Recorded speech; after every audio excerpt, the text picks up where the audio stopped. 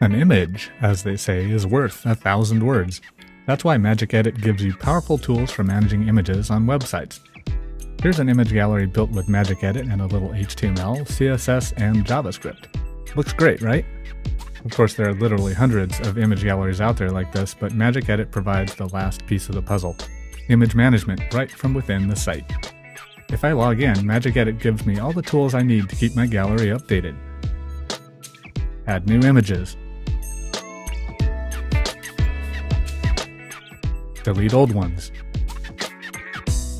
Update existing ones, no problem.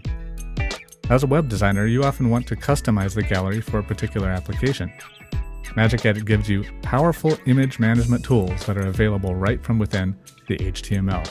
Zoom, crop, and resize images. Just change the image effect from the HTML, and Magic Edit automatically generates new images on the fly. Now it doesn't matter what images the Content Manager uploads, the site will always look fabulous. To see how this works, let's use some Magic Edit effects to make all these images square. We'll use the zoom effect like this.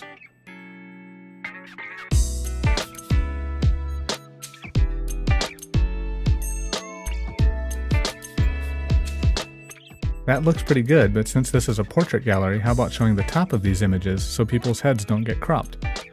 Make Magic Edit show the top of the image just like this.